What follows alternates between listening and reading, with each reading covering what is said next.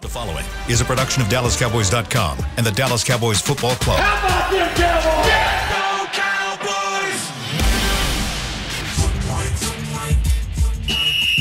Let's go, baby. Are you ready for a break? Uh, yes, Are you ready for a break? absolutely. Ready for a break?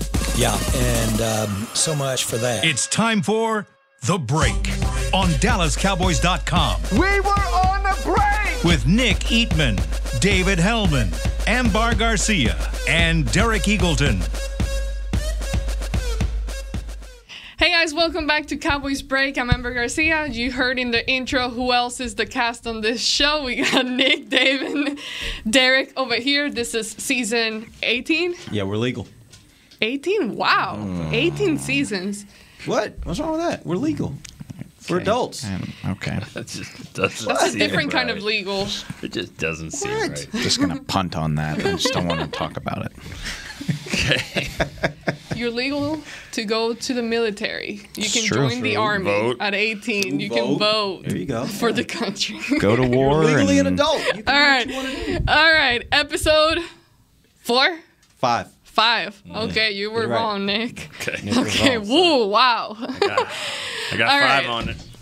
There you go. This is like one of those flights where the turbulence starts the minute you get off. We'll off the change it up. I'll I have some more turbulence for you though. Okay. Um, we do have the draft coming up around the corner. Sure and do. we have things to talk about. But before we get into that, I figure we'll get the news out of the way. I mean, some pretty serious big news, Oh, but we do have to talk about it. All oh, right. Well, it's fun. Like when you're in the weekly format, you know, it, so much has been said already about that situation. You forget we haven't had a show since then. we have not. So we do kind of. I figure we do have to kind of discuss it a little bit. Unfortunately, we do. pretty Yeah. serious major stuff but i'm sure by now a lot of the listeners have already heard the news and the things that's going on currently with kelvin joseph which we did discuss last week as you know a quick evaluation of how he was drafted and how he was looking and all that.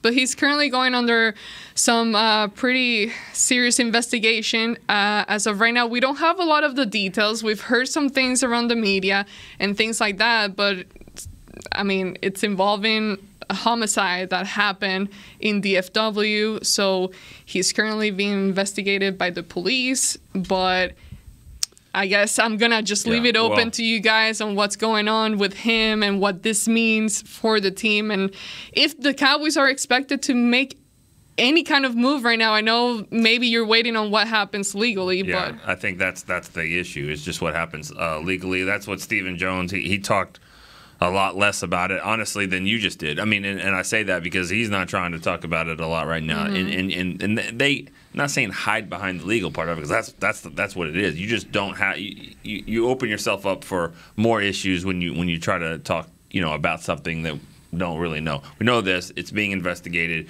We also know that he was he's continuing to do the things uh, f- for the team that he's supposed to do. He's part of the uh, off-season workouts. He was he's here. Um, I don't know if he's been here every day. They don't take attendance like that. They don't share the attendance It's voluntary. for us. It's voluntary. What do voluntary mean? It means it means you show up if you're if you're in, in the in the news for the wrong reasons. You better show up. That's usually what it means. I, I would think, but um, you know we'll, we'll see we'll see what happens and whether it changes any kind of off-season draft strategy. Let me say real quick though, we do have to. I want to acknowledge. Sure. There was a person that died here, and I know sometimes you can get caught up in the conversation and talking about football, but this man Cameron Ray is is no longer living because of what happened that night, and regardless of what Kelvin Joseph's involvement is in that or not, uh, a man is still dead, and so we want to, you know, obviously his his family.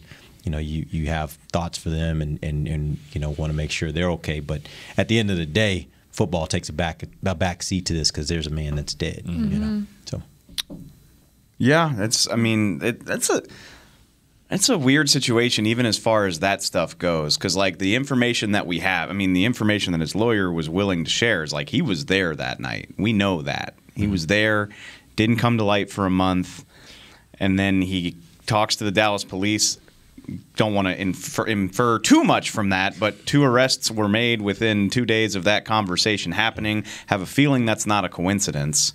Um, hasn't been charged with a crime. And he maintains that he was not in any way sh- the shooter. He is not. He Right. did not shoot anyone. That's what he maintains, or his attorney has maintained. and there, there's been no charges. There have been there's been no arrest.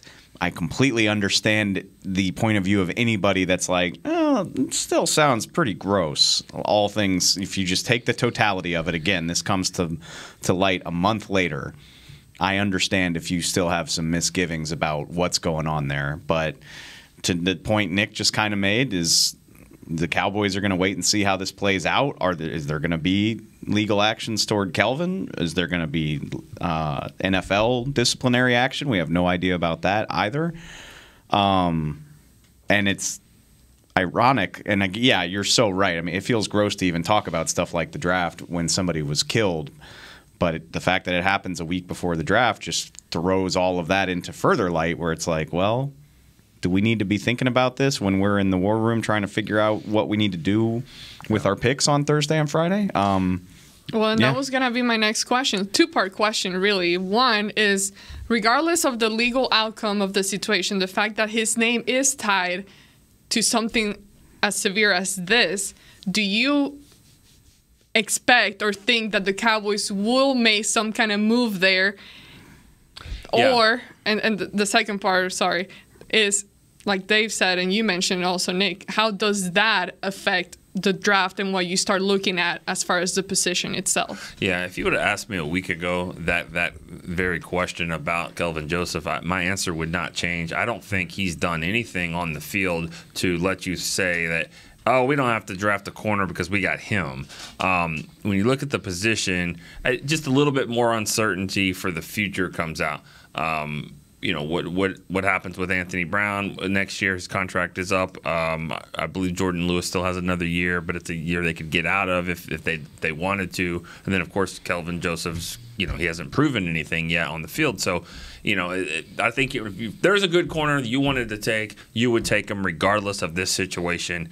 Either way, because you know you always need good corners, and especially in the future, it looks a little uncertain. Yeah, and I'll say this too. I mean, it, and I'm just speaking for myself. This is not the organization's take. I don't know what their take is on this, but me personally, reading the things that I read about Kelvin Joseph coming in the door when the Cowboys drafted him, I was already a bit skeptical mm. of like the who he was off the field. And remind the people, aside from the rap and It, no, it wasn't even that. Like I, I have no problem with guys having a life outside of football. That doesn't bother me at all. It was the fact that he was at LSU and then he wasn't. the issues. He was at Kentucky and they were like, "Yeah, we're good. You kind of just go on and do your thing, right?" It just the fact that there was there seemed to be this cloud of just like, man, this guy, I don't know, you know, and and so I'm not saying like I, again, I don't have a problem with a guy that has a rap career. I don't have a problem with a guy that has other interests outside of football.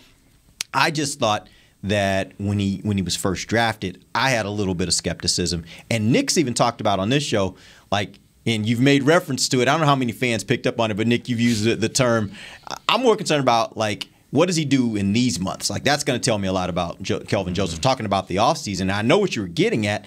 It's like when you're away from football, are you doing the things that you need to be doing to be ready to mm-hmm. play and available to play when football comes back around? And so I think there's a level of skepticism in my mind.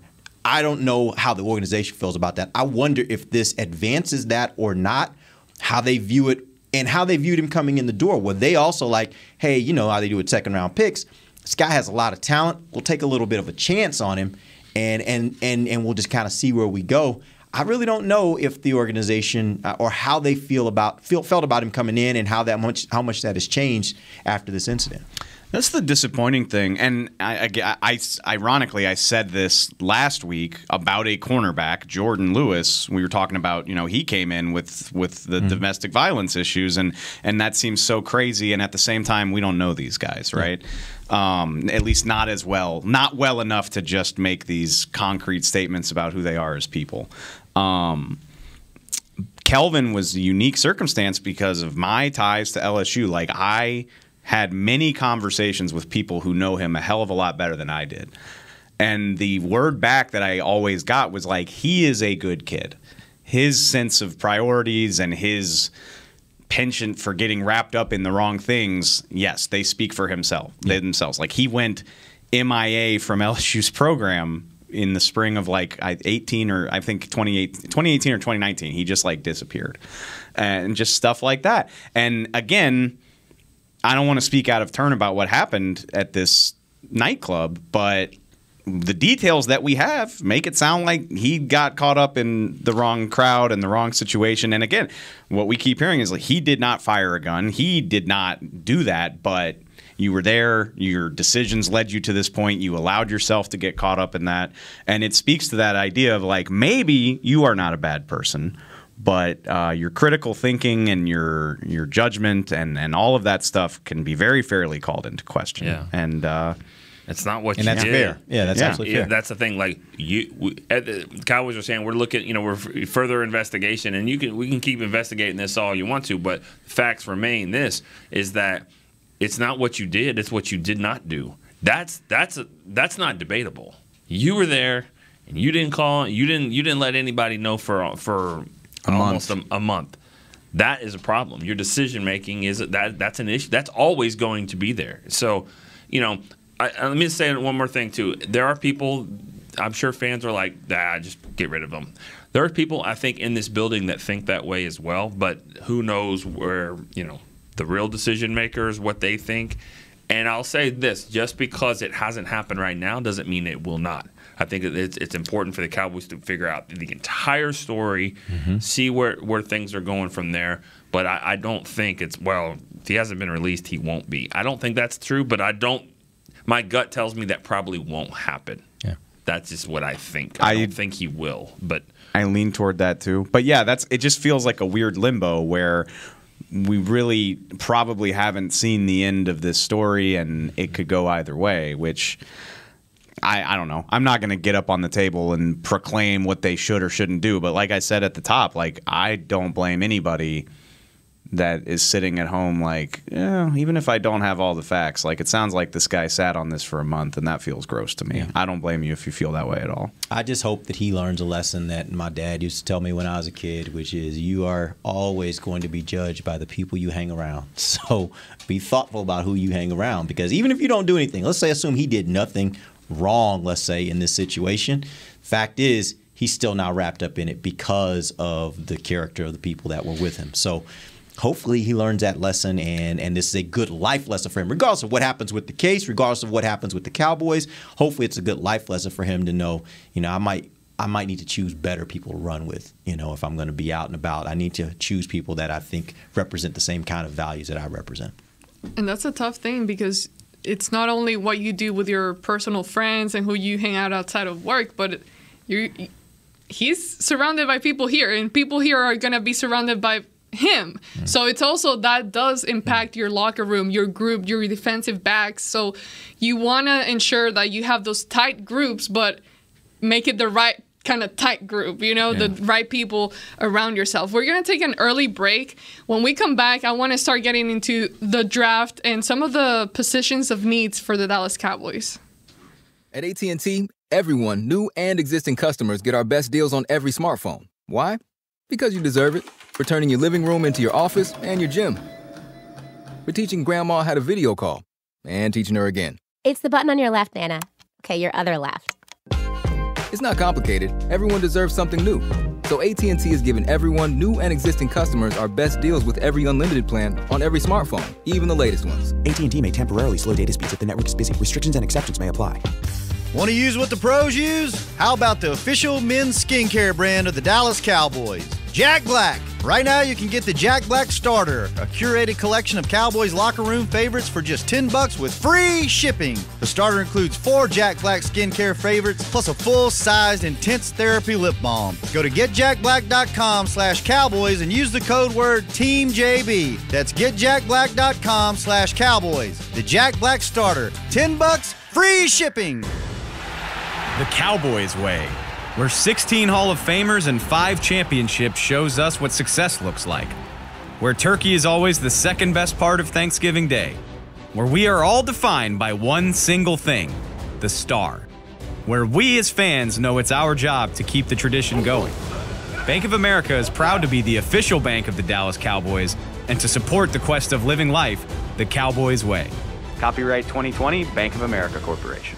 Before there was a draft, you could size up a cowboy by three simple factors the crease in his hat, the bend of his brim, and his unbending attitude. A man Stetson didn't just protect him from what life threw at him, it projected a rugged, unstoppable spirit. Stetson hats are still American made with pride right here in Texas. They're still the unofficial crown of all self respecting cowboys, and Stetson is proud to be on the field with America's team. Find a retailer nearest you at stetson.com slash cowboys. Back to the break. If you want to see better, go to Essilor. Uh, you can book an appointment at your local Essilor experts and find the perfect lens for you. See more, do more, Essilor. Welcome back to the break. I do not want us to sound like a broken record on this show, but I have to say it.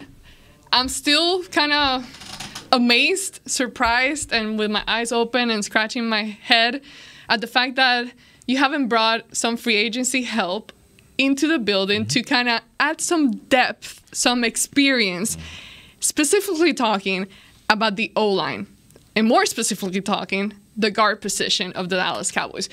We know that you want to go into the draft with some kind of depth in there so that you're not necessarily forced to grab a position because you really, really need it. So I want to open up the questions to to you guys. And and Stephen Jones was talking about to the media, and one of the things that he mentioned when he was asked about a guard, he referenced um, Zach Martin. And like, yeah, we love to have a guy like Zach Martin, Zach Martin on the team, which Yeah. is great. Yeah, But not that anytime you can have, anytime you can find a Hall of Famer, it's, it's good business.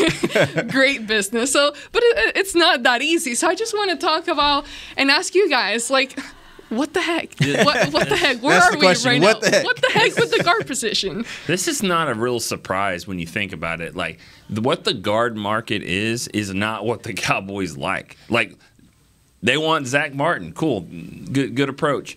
But the guy that they pushed with two hands out the door got a seven million a year contract. So anybody else that's uh, that's been pushed out the door by their respective teams is probably wanting something like that, and they're like, no, we that's not what we want to pay. They want a bargain shop. But Connor Williams is making seven million a year. So it, it, it's, it doesn't make it, it. I mean, this is not surprising that they don't like what's out there because they want it cheaper, and and those guys are like, well, I'm better than him. I find it very surprising. I disagree because No, I I am surprised too. But like, who who do you think they should sign? They clearly don't want the guys that are out there because they've never stopped. They've never let the fact that a guy's not good stop them from signing somebody in free agency. Like that's what they do. They scrape the bottom of the barrel and say, "Well, at least this guy has played." Ty Nsekhe was not in high demand last year. Neither was um. I can never remember the dude's name. The swing tackle before Ty, Cam Erving. Thank you. Um, Shout out to the bros. Yeah, like they they've never failed to find a nine hundred thousand dollar vet that they can come. They're like, hey.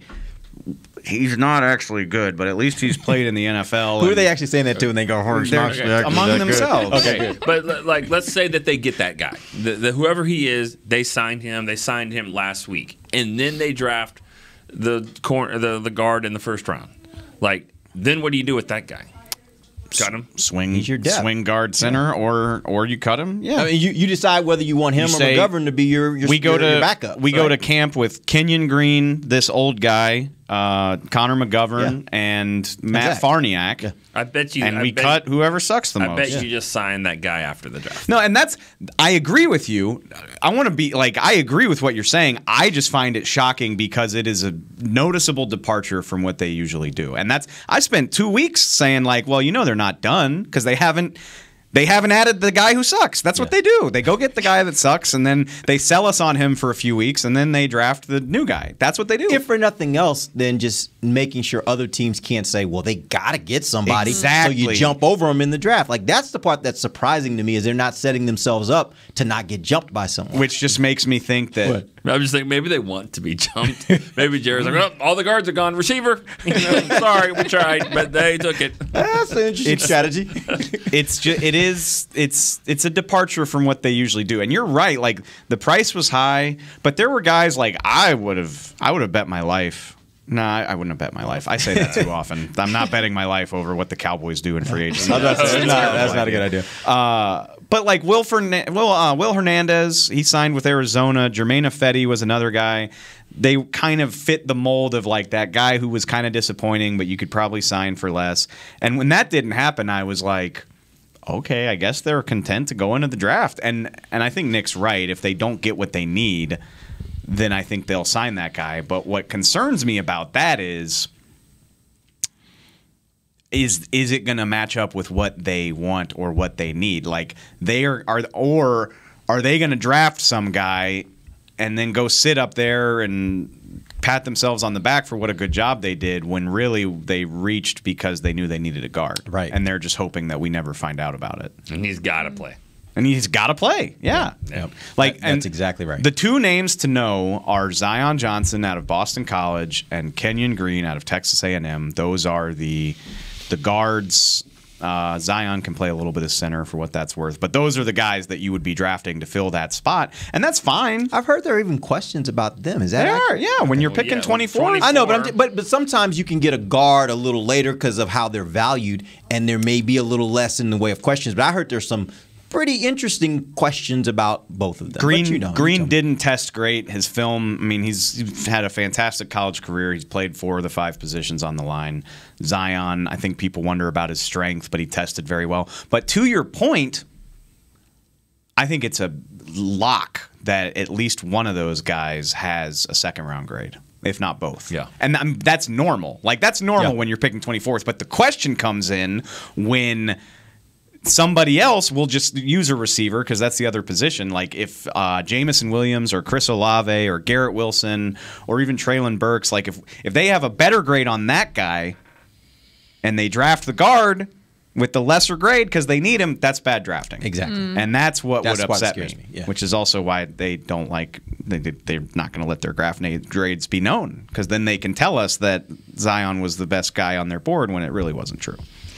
Well, Jerry Jones, a few weeks ago, he did mention the fact that he is very open to trading, whether that's up or down. So that that is still a possibility. And now, speaking about, I know you mentioned two names, but about the talent itself, like if you were to dra- to trade up, are you specifically going to a guard and draft a guard, or is the talent okay if you wait until like let's say a second round guy? Because you ha- at at this point we keep talking about it, you have to get some help at guard. Yeah, uh, along that, that line, let me let me go back to the to the last part because I actually disagree. Now that I really think about it, I don't think it is bad drafting at this point. I don't think draft. I think if if there was a receiver that's rated a little higher than the guard, I, I'm okay taking the guard. What about a lot higher?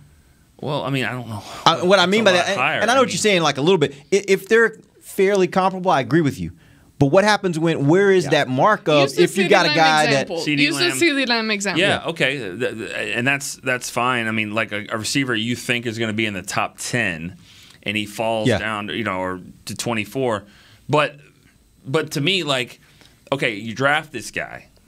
Like if, if he's going to be better than CeeDee Lamb, then that makes sense. But if he's not going to be better than, than like Michael Gallup, he's probably your third receiver. Like, is that good drafting to, to get a, a receiver that's higher rated? Let's say it's a Treylon Burks type of guy who's going to probably be your third receiver. Then what are you doing at guard? Are you still going with McG- with McGovern? I mean, I would rather have the guard that comes in and plays right away, even if he's not as good as my third receiver, because how does that guy help me? Okay, so let's, let's flip that a little bit then, because I, I understand what you're saying. But what if the talent there says he might not this year, right now, he might be your third receiver, but in a year or two, he might be your best receiver? Or let's even flip it to another position, because I think receiver's a little bit of different beast right Yeah. now. Let's let's assume it's it's Stingley.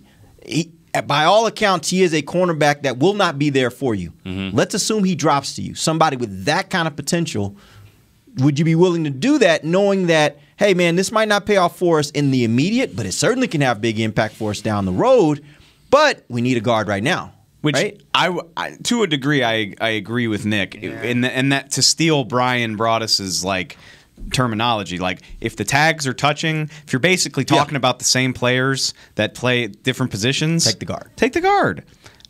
It's the issue where a guy that is clearly a lot better than Mm-hmm. the guard falls to you. Which, if if whatever we're hearing about this draft class is accurate, that's at least got a decent chance of happening they they could be setting themselves up to do something really dumb, in my opinion.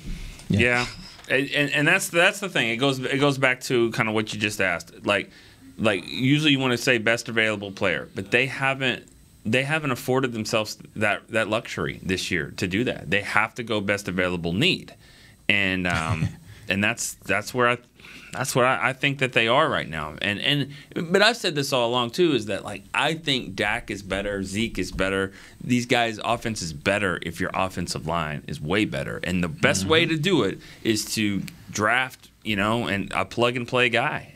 And that's it, it's just going to be hard to think any of these other players, the Stingley, the Jordan Davis, any of these receivers. Th- that sounds great, but I'm like, man, they've got to get offensive line help. They've got to get a guy that can start. Do either one of those Why- guards? Oh, go ahead. I just, I just, that's why I don't get what they did, and I don't get the lack of action in free agency to prevent that from being true. that, right. Because it is true. But why is it true? Why did they not do, like, why are they content to be like, man, I really hope Kenyon Green's there at 24? Because Right. that's kind of what it feels like the strategy is. Are both those guys plug and play? Yeah. They play. They freaking better be. No, well, I'm asking. I mean, that, Yeah. yeah, Yes. it's nice Yeah. to say they better be, Yes. but you know, Yes. both of them are plug and play. Yes, They're Okay. going to be. Yeah. All But, right. but and also just know this: Zach Martin was picked 14th at guard. Quenton Nelson, I think, was sixth, fifth, maybe. Like if you have a stud guard, You yeah, they get can get picked Yeah. up there. So when you say there's some there's something wrong with their game, well, yeah, that's why. That's why. Yeah, of course there is something. Uh, oh, sorry. Go ahead. We were gonna take a break, but Oh, I there ju- something else? I laughed when you said that earlier, which, you know, you could have a Zach Martin in this draft. So I say this kind of tongue in cheek, but like if they trade up for a guard, the draftniks, the people like me who like really freak out about this stuff will burn Twitter down if they if they trade up for a guard to make sure they get their guard. Like if you're trading up in a first round of a draft, Doesn't it matter though how how No. much? Like you, if they trade up two spots, you're gonna be like, what the? what did they give up? I mean, th- what did I mean? What did they get in the Micah trade last year? What did Philly give them to go up two spots in the first round? A third? Yeah. Yeah, you give up pick Well, 88 well, to go get a guard. You wouldn't, you wouldn't do that. Mm. 12 to 10 and 24 to I know. 22. I'm just It's probably a fourth. though. I'd, I'd be Would you- aggravated would you by that. fourth? One of those. Fourth- one of those. Fourth round picks are supposed to do something. One of those. What about fifth round? Fifth round picks. we got a lot of them. We're gonna talk That about would bother hold me that less. one. We're gonna talk about fifth round picks later in the show. Um, but uh, speaking of trade, and we're gonna go to break. I was just thought whatever trade it is, it better be better than what you got through Amari Cooper. A better deal, and it's a different deal, you know, different kind of trade. But you better get some. Well. some something better out of if- if whatever a- trade you make. If Amari Cooper can land you a fifth round pick, then I would trade one of those fifth round picks and see if I can get something like that and his contract. Yeah.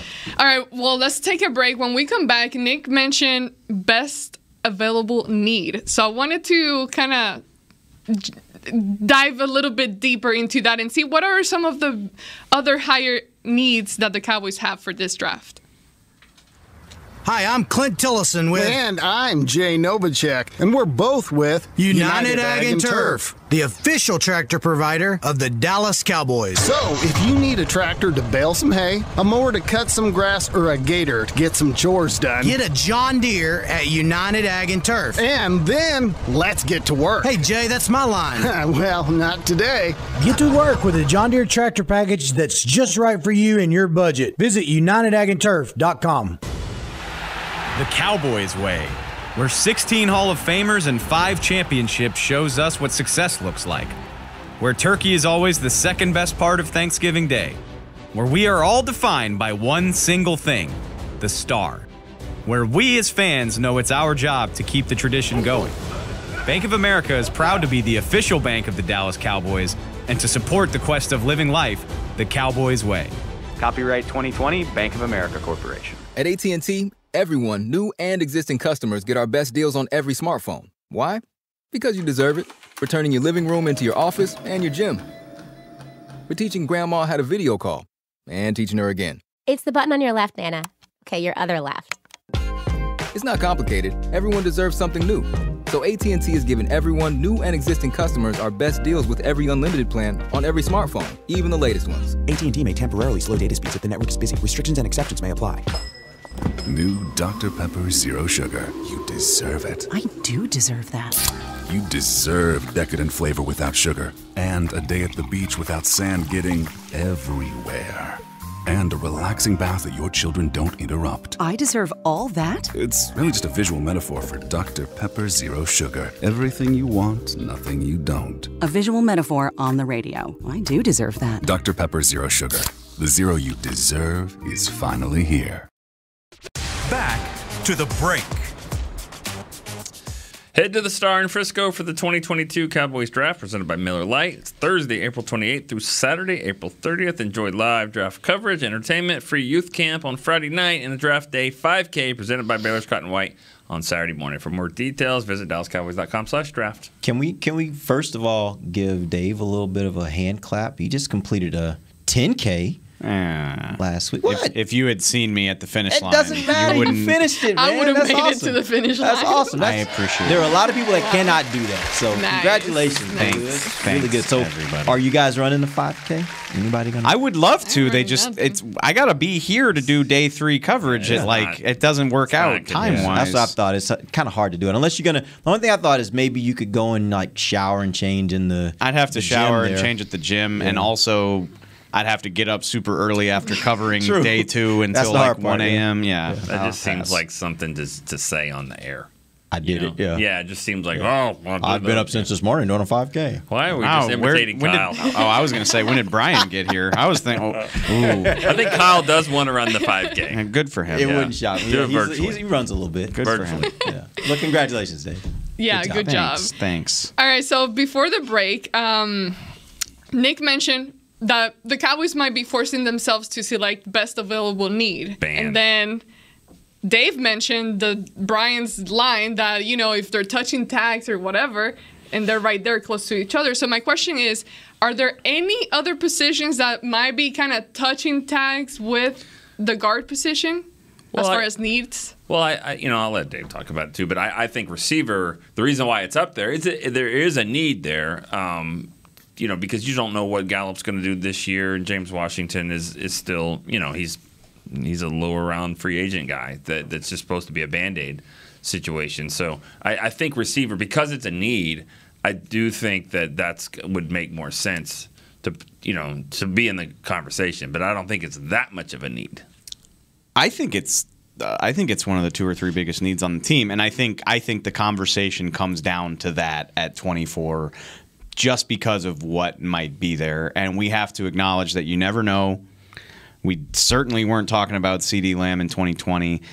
We were talking about Micah a little bit last year, but for the most part, everybody was fixated on cornerback. So like you don't know for sure, but when you just look at it, I think they need a they need an interior offensive lineman more than anything. I think receivers right after that. Then I would probably go edge rusher, or you could flop those two if you want to. Whatever. Those are the top three in my opinion. And then after that, probably offensive tackle and tight end. So when you look at those, there's going to be a guard there for you. There's going to be a receiver there for you. Offensive tackle would be pretty surprising just because of the value of that position. Uh, there isn't a tight end with a first round grade. And what else did I say? Edge rusher. Possible, but again, that feels surprising picking 24th that one of those guys falls to you. So the natural conclusion is receiver and why can't I talk? Receiver and guard. Sorry. Yeah.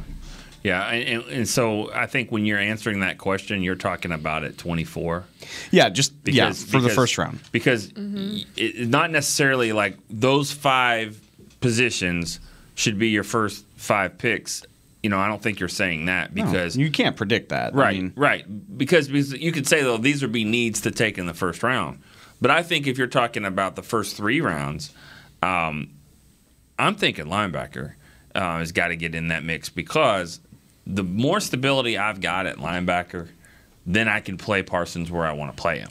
And I mean, Leighton's a one, one year deal, and you know after you know who knows what else that happens at linebacker, and so I just need a little bit more stability, more playmakers there. So I, I, I kind of put that in that group, not in the first round, I don't think, but No. in the but in the top, you know, first two days, Yeah.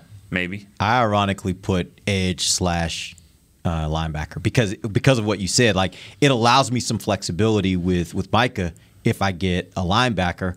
Uh, if I get a, I think an edge is important, But I also think if you get a linebacker, then that does offset that a little bit because you can slide Micah down to play edge a little bit more if you got a linebacker you think can play.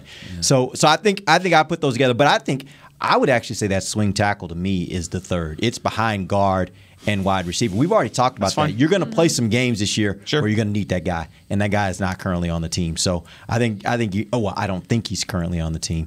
Uh, so I think they they they need to address that. I think the reason I fall off on tackle a little bit is just because I know that there are guys out there in free agency that like there are you know there, there's always can slide there's in. always like a 33 year old tackle who's just kind of chilling. I mean, if, I'm not saying they want to go re-sign Ty Nsekhe, but they probably could. Yeah. Jason probably talked Jason Peters out of retirement or whatever the hell he's got going on. So like I just think you can guys play forever. You can address that cost effectively after the draft if it doesn't work out. It's not to say I don't think they should draft one. Can, can you get a linebacker that just plays a linebacker? No one thinks he's a pass rusher, and then you get to week two of the season and find out that he's a really good pass rusher. Can you get that guy? Yeah, I think that would be fun. Sure. I agree. Right right after you get Zach, right after you get Zach Martin, then I Yeah. think you can get that guy. Yeah. Yeah, I mean that that's just amazing when you when you really think about what happened with Parsons. Like if I mean the COVID year, there's not a lot of great things that happened that that that came out of COVID. Yeah. But that right there, we just and I'm again, I'm I'm, being, I'm just being tongue in cheek here. I understand that it was a, it was a huge deal for our whole world and country and all that, and a lot of people lost their lives. I'm, I'm not saying that. I'm just saying uh, uh, this feels even gross to put it in the same sentence, but like the fact that, that he didn't play, you know, he opted out for whatever the reasons, opted out. That allowed him to be, you know, to fall to 12. And I don't. I think if he would have played that year, they would have realized this guy can rush the passer, and he would have been drafted third. His coaches at Penn State have said they were going to put more on his plate if he had played, and that's if you go back.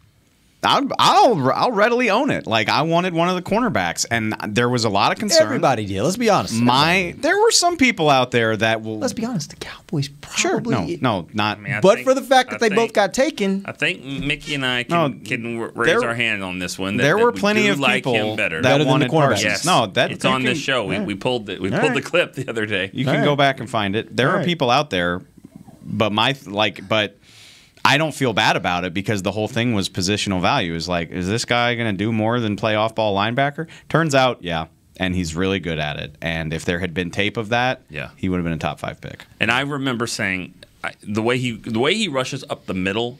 I remember think I remember saying this like it's not always going to be against Purdue and you get to Indiana. Like I get it, the guards are a lot better, um, but but that, that's that's what's scary about people like me that cover the draft and I don't even cover is very loosely there. I look at highlight tapes. Well, no one puts out you know N'Kobe Dean's plays that suck. Like the, no one puts that on Twitter, uh, on YouTube. They put his highlight tapes, and his highlight tapes look good, but they're watching film on guys, good and bad. This is what he can do. This is what he can't do. So it's it's real scary to go. Well, I, I love what this guy does at receiver. Like, okay, but he misses. He runs bad routes sometimes, and that's why he's not this or that. So you got to be careful just on what you see on highlights because it it goes both ways. Going back to the linebacker thing, I would like them to draft one, but and maybe I'm maybe I'm listening too much to Stephen Jones. Like maybe I should be more not take him at his word. But like we asked him about linebacker in Florida, and he was like, "Well, you got to remember, Jayron's basically a linebacker." And I was like, "Yeah, that's a good point." And if you but are they going to pull him down to that and have another strong safety in in those situations? Like, it, like I, you can't can double, double count him. Like, I, I think when they're in nickel, typically he's still on the field in, at safety, right? but he comes down into the box and deals with the tight end. So uh, all in, for all intents and purposes, like he's not back in coverage. He's down doing. But you're still going to need two linebackers. Is my point. And yeah. but so but when you factor in those three, like Leighton Vander Esch and Jabril Cox can play nickel linebackers. Basically, what I'm saying. If Got you want to do, if you want Micah to do something else, or Micah can obviously play nickel linebacker too. I just think if you include Kearse and say that you've got those four. I feel okay about it. I'm not saying like sure draft one that would be great, but I got one. I have it lower on my I on got my one, list and, of and it would be your guy, Damone Clark. Mm. Why? He had spinal fusion surgery and is going to miss his rookie season. Ooh. Yeah. Well, I feel terrible for him. That's he'd, not good. He'd be a top. He would be. Yeah, I don't want him then. Top 100 pick. Are I think- there any linebackers in this draft He's that you would number be like, 18. if they got him at That 24, dude you'd be like, grown yeah, I man. get it. I understand. Hey, somebody, somebody no. stopped me on, go, walking into the to the office like a month ago. Some some fan, he was just like, "What do you think?" And he said it so fast, I don't even know what he was saying. And of course, it was you know nine in the morning. I don't know anything. He was just like, "What do you think about Chad Muma?" And I was like, "What?" He was like talking about Chad Muma from Wyoming. I love the idea of you being accosted about Chad Muma at nine o'clock in the morning. Well, what was funny? Did you, you- can you guess the look on Nick's No, face too? Like, no, no. I, you well, it took me a about? second. To, but what here's what here's what was really kind of funny about it. So he's he's like he's a he's a big time fan, and he was up in the Cowboys club and with his wife. And his wife was like, "Don't don't harass this guy." And he was just like, "No, I listen to the show all the time. He's probably listening." He's like, second round pick. What do you think about him in the second round?" And as he's saying that, I look over and I see Darren Woodson, who works on the other side of this building. He's got a real estate company and all that. He's killing it. He's walking with like a client or whatever. And so I said, well, you know, loudly, you know, you know how the second round picks go. You never know about a second round pick and all that. And then, of course, he was like, see, there you go. That's why we're not friends and all this stuff, which I had to remind him. There's a huge picture in my office about him. So, um, but anyways, second round pick, You Chad love Muma. saying that. What?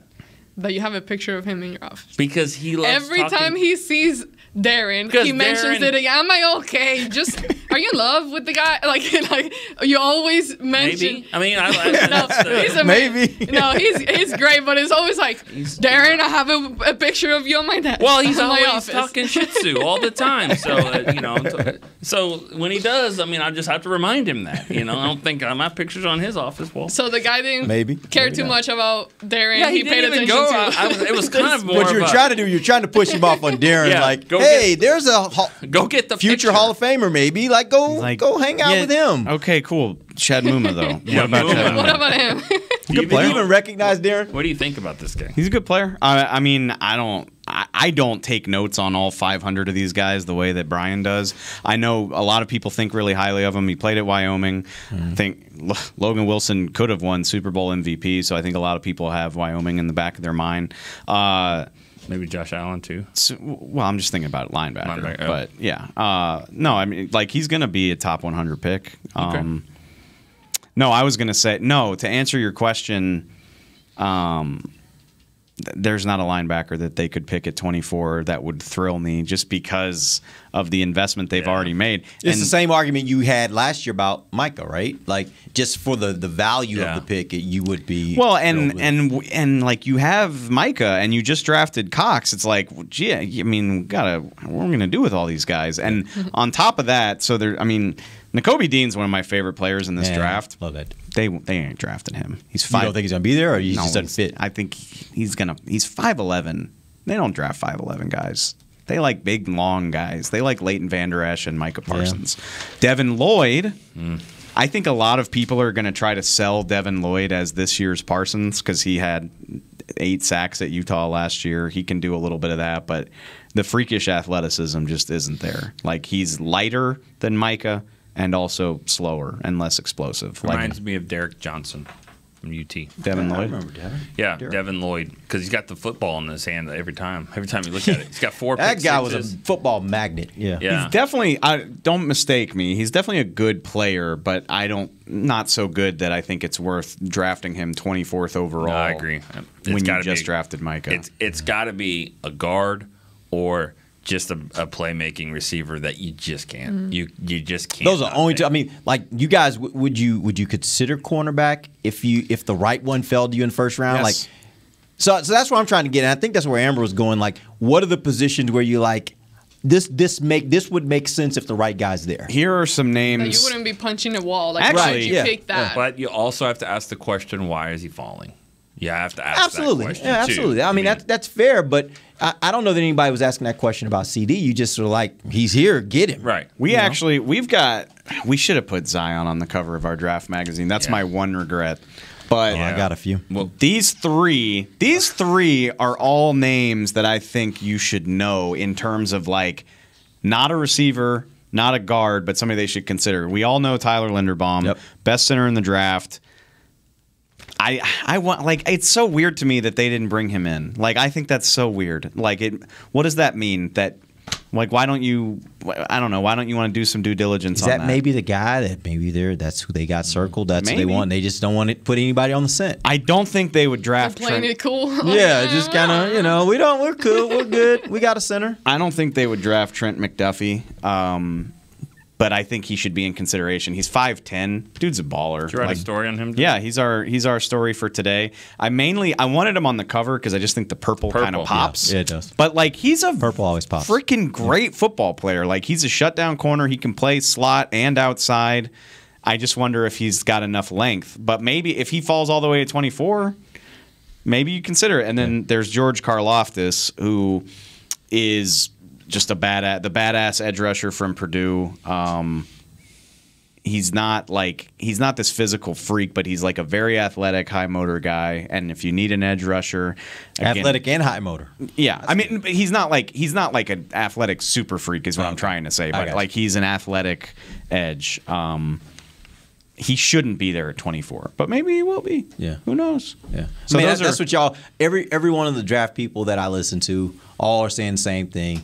It's going to be a crapshoot. You get past the top, what five, six, seven picks, and it's really just your flavor. What do you want? The funny thing though is like even still, so much of the draft industry is groupthink because it's it's scary to kind of be out on your own with an opinion, and so you still kind of find people falling into this group thought process where it's like ah he'll he'll be gone he'll be gone he ain't falling it's like eh, somebody's got to Yeah. and then for all you know this some guy that we've universally got pegged as getting picked in the 20s could go in the teens Yeah. the na- I'll never forget uh, Clelin Ferrell defensive lineman out of Clemson was like we widely had him circled as like somewhere between 20 and 40 he went fourth overall Thanks, Mike. How's he- how's he- how's he done? It hasn't worked out. That's not the point, though. I, I know- one- I know, I'm just- I'm but just I got wondering. one that did, and he's I think a Hall of Famer, and this goes to show how long we've been doing this. But Dwight Freeney was Mm. not supposed to go in the top ten or whatever to the Colts, and that was one that it was like who- you know, and then not not who because he's probably a late first round pick. Well, it's probably also his size. Like that. That was always the knock on him is his size, but he played well beyond that. Yeah. But I think that always happens. I feel like in every draft, you you're watching the TV and you're looking and you're expecting a team to do something, and then all of a sudden they pick a guy that you're like, wait, what, what? And then you, and we saw it happen a lot last year, and was it last year mainly? Yeah, that it, right. that it was a lot that you're like, whoa, what? And that's clearly how CeeDee Lamb landed on your lap. Because and that's and that we say this all the time, but like these guys that are that are doing this, I mean, I, I think Dane Brugler does an amazing job. Of, dri- you know, he's got this beast of a of a of a book with all these players, but you know, it, it's done universally. It's not he's not ranking the corners based off of length and and size and what Dan Quinn would want. He's he's trying to put it all out there on everything involved when he might Dan Quinn might look at it and go, well, his number 14 corner is my number two corner Yep. because he'll come right in and Nahshon do, Wright. and do what this guy I mean, does. like, yeah. yeah, yeah, and that's and that's and that's not, that's not a knock on any of these draft experts. They they can only do it that way. Yeah. That's why this stuff happens. There's a receiver out there that, that that'll be a perfect slot guy for what the offense is trying to do for some team. That is probably the number 25 receiver on the board, but he might go in the second round. Yep. Well, let me change the conversation a little bit. We've talked a lot about the the first two rounds and you know what they're gonna do on day one and those top picks, but we haven't really gotten into those later rounds on like day late day two late uh, and day three you know. And we give the cowboys will mcclay and his staff a lot of credit of the amazing job that they usually do when it comes to drafting talent. But looking at this list over here as far as the fifth round pick uh, i mean Yeah. Well, they got four fifth rounders.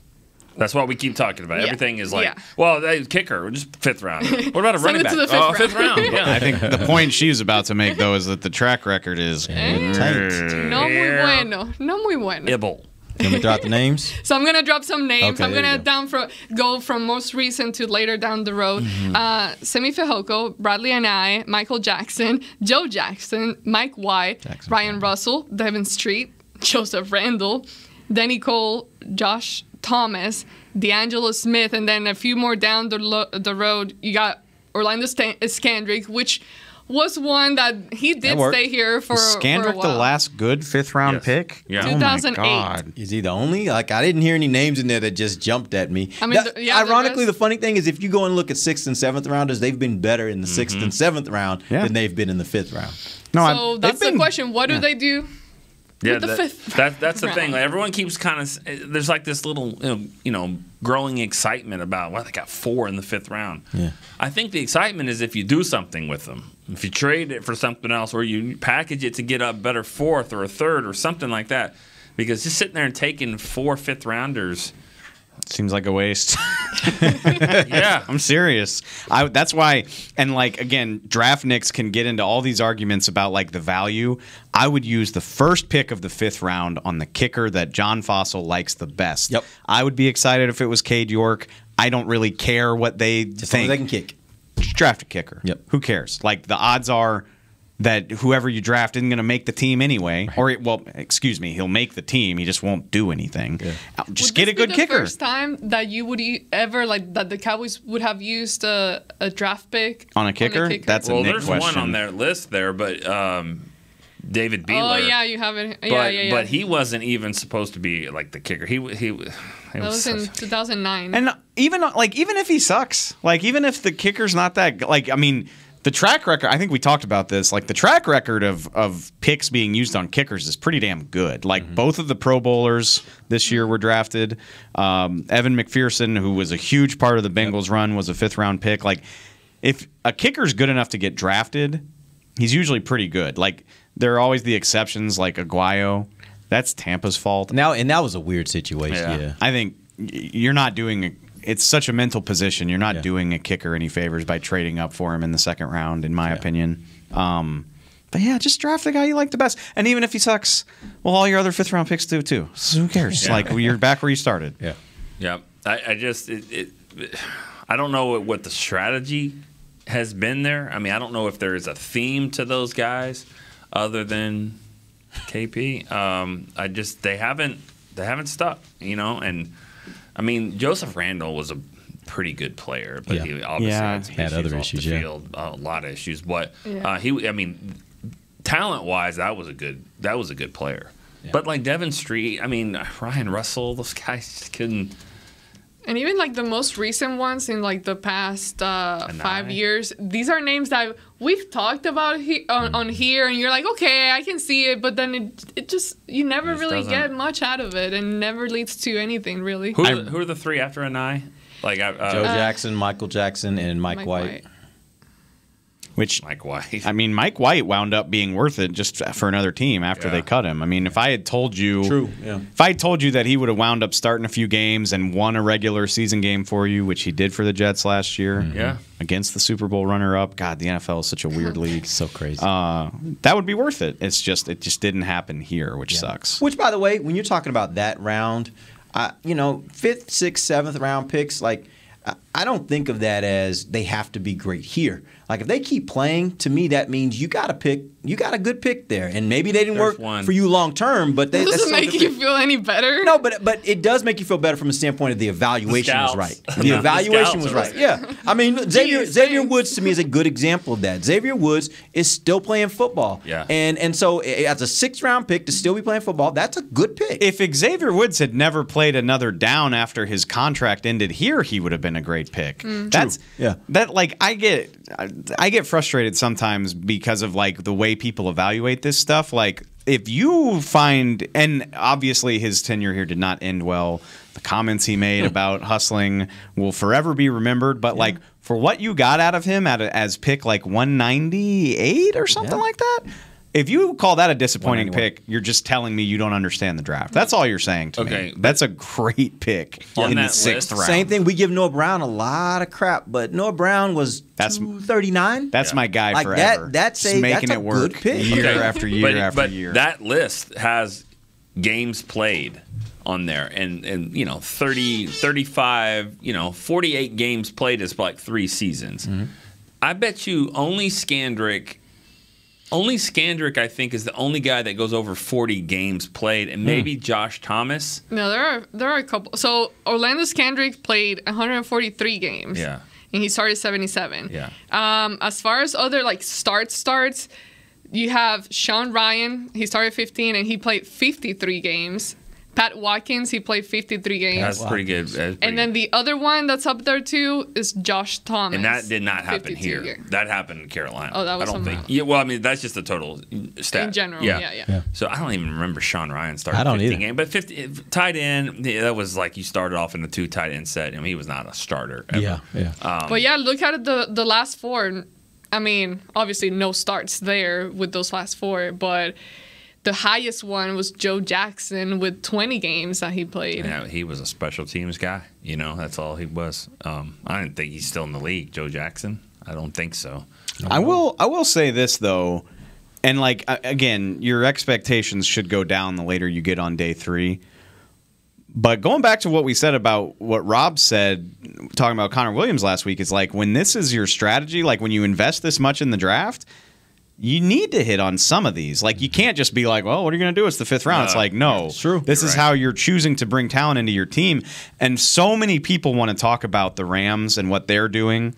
A big part of the reason why they can get away with that is they're actually great on day three of the draft. Like I'm, I'm for for all intents and purposes. Like obviously not every pick is going to hit, but like Obo Okoronkwo, uh, Sebastian Day, um, who's the uh, who's the safety? Jordan Fuller, the guy who made the play on CeeDee in Week One in 2020, sixth round pick. Like they're getting starters on day three, year in and year out. They're finding guys that can contribute.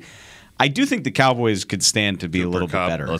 I mean, well, he's third round. I think third round? that's I think that's a little But more of an third investment. round, third round to get the best receiver in the league. Yeah, yeah, Oh, that's sure. a that's a heck of a pick. That's I a mean, great yeah, pick. absolutely, it's a great Samson Ebukam, who's been a part of their pass rush, it felt like he was part of their pass rush forever, was a fourth round pick. Like they, uh, Note boom. Cody, uh, Note boom, Cody, is it Weichman or Wickman? I don't remember, but they found him in the sixth round. Um, they're good. The, the you can find starters the on day three. Have done pretty good at sixth and seventh round. Which is just the ironic part is the fifth It is round just- has been yeah, so for terrible, reason. and this is the year that they're sitting with four. And usually it takes us several years for you to be able to categorize how well the draft went for the Cowboys and all that. But if you had to, like, after we're done with the draft and looking at it, if you had to say for this year, what would you call a good draft that it turned out well for the Cowboys? What would they need to do in this specific draft to say right away before heading into the preseason that this was a good draft? They Heading need into two- preseason? They need two guys, Two guys that, that start. that start this year. So with two Absolutely. guys that start for sure. That'd be that'd be great. Heading into preseason, yeah, Two that that seems that two seems bona fide starters and a third that has a clearly defined role somewhere. The way that's probably going to happen is if they get a a wide receiver probably in the first round, and then get the guard in the second. It can happen the other way too, right? It like they could go a guard in the first round and then get a. I mean, this wide receiver right. class is supposed to be pretty deep, right? Yeah, yeah. I mean, he could. Yeah, could the receiver be better than James Yeah. Washington and Michael Yeah. Gallup's not ready? Yeah, Yeah. yeah. th- that could happen. So guard, receiver, Guard receiver. I think if, they, if that's Probably. your first two picks, the hope is that they're both going to be playing week one This of this year. season because they're going to have to. Yeah. But Yeah, it- probably. Will the Could- draft gods be that kind to them? Could- like could that you- a guy that's good good enough? Could you draft a second available. round offensive tackle and he's better than Terence Steele? I mean that could that Possible. not happen? It's I mean, possible, I mean. Terence Steele. I mean I, they're they're putting the eggs in that basket, but that doesn't necessarily mean that he's. he's Yeah, when I mentioned swing tackle, the fact is that swing tackle's coming in here, and if he's a young draft pick, he's competing with Terence Steele to start. be a starter. Yeah. Yeah. no doubt about it. Yeah, Yeah, yeah. In my that's one mind, of, well, that's one of those things where I wonder. You know, the coaches are like, "What are you talking about?" Like Yeah. Terence Steele all our day, guy. every Yeah. day, unless unless we wind too. up with Charles exactly, Cross. That's exactly why I said that's in my mind because my mind may be very different. But yeah, I mean, um, Tyler Smith out of Tulsa, if he's hanging around in the second round, Abraham Lucas out of Washington State. Um, I, at tackles like edge rusher though, like the good ones go pretty quick. Like great ones aren't usually hanging around Yeah. by Yeah. 56 and certainly not 88. Yep, yep. So we'll see. We shall see, and we're we're almost done. We will have a, another show right before the draft, which is draft Thursday, and we'll have a show on Wednesday. And Derek, Let's go get a snack. you're ready to go eat. Okay, Rex Ryan, let's go. All Start. right, Let's well, go. guys, thank you, thank you so much for joining us live and on demand later on. For Nikki Man, Derek E- eh, Eagleton, I have to do this slow. This is like a tongue twister It for me. is. For Every Nikki week. Man, for Derek Eagleton, David Helman, and Amber Garcia, this has been the break on DallasCowboys.com radio. Radio. Radio. This has been a production of DallasCowboys.com and the Dallas Cowboys Football Club. How about this, Cowboys?